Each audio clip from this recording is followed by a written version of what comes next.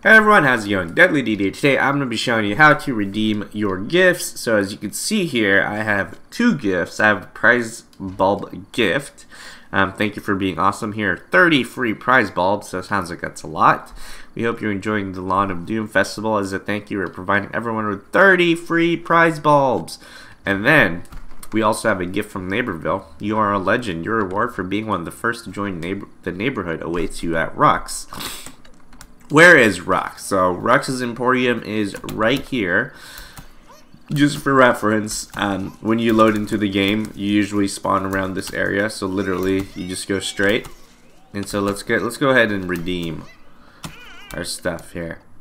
Usually I keep my best stuff stashed, but I'll cut you in this one time.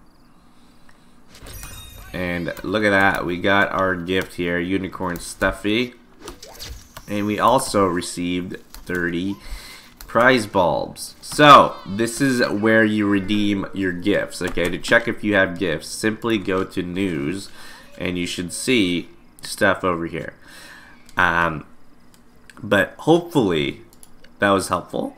If it was, make sure you give it a thumbs up and a sub below. Thanks for watching. Catch you in the next one. See ya.